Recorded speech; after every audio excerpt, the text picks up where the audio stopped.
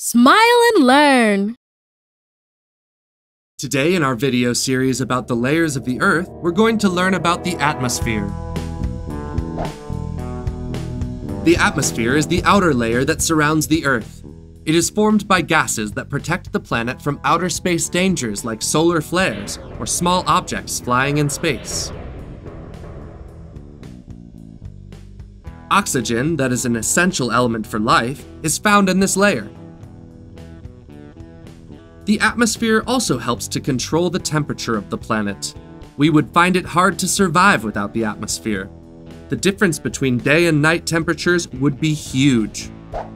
Depending on how high we get, the composition of the atmosphere changes, dividing itself into five main layers the troposphere, the stratosphere, the mesosphere, the thermosphere, and the exosphere. The troposphere is the layer closer to the surface of the Earth. It measures approximately 10 kilometers high. Clouds are found in the troposphere, and weather phenomena like wind, rain, or snow occur here as well.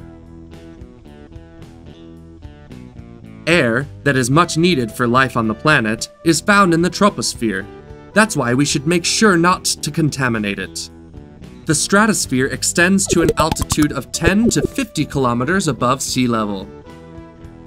The ozone layer is part of the stratosphere, and it's very important because it protects our planet from harmful UV sunlight rays.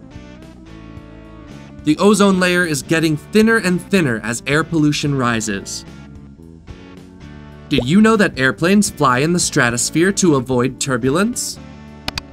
The mesosphere extends to an altitude of 50 to 85 kilometers above sea level. The mesosphere is the coldest layer of the atmosphere. Temperatures can drop down to 90 degrees Celsius, below zero. Shooting stars occur in the mesosphere. These are meteors that travel through space. As soon as they hit the mesosphere, they start burning up, leaving a tail behind them. The thermosphere extends to an altitude of 85 to 500 kilometers above sea level. This layer is the warmest of all five layers. Air temperature on the surface of the Earth is kept constant thanks to the thermosphere. In this layer, temperatures can rise to more than 2,000 degrees Celsius. The International Space Station orbits the Earth within the thermosphere impressive natural phenomena like the northern and southern lights occur in the thermosphere.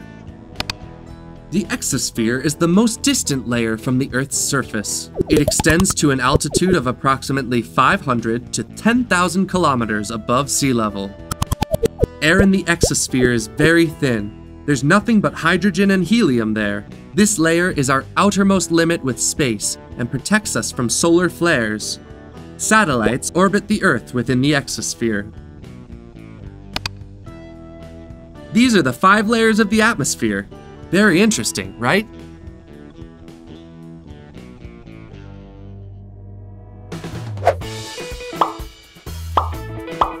Did you like the video? We have so many more. Subscribe by clicking on the seal. Ah, and if you want to keep watching more videos, click on the boxes.